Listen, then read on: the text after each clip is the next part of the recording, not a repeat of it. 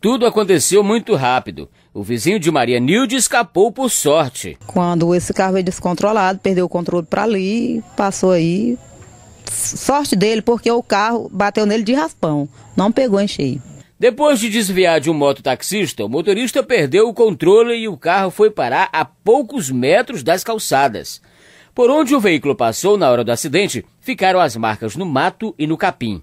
Se não tivessem na frente dois montes de areia, o automóvel teria batido em um poste ou invadido várias casas.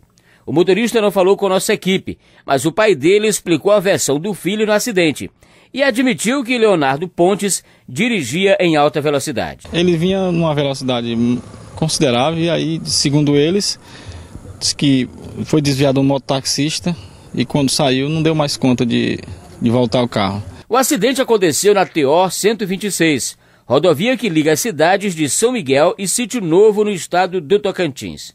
A polícia militar agiu rápido para sinalizar o trecho onde tudo aconteceu. Nós acionamos a perícia e vamos fazer o procedimento legal e caminhar para a delegacia para apurar possíveis, é, é, é, possíveis irregularidades e autoria também.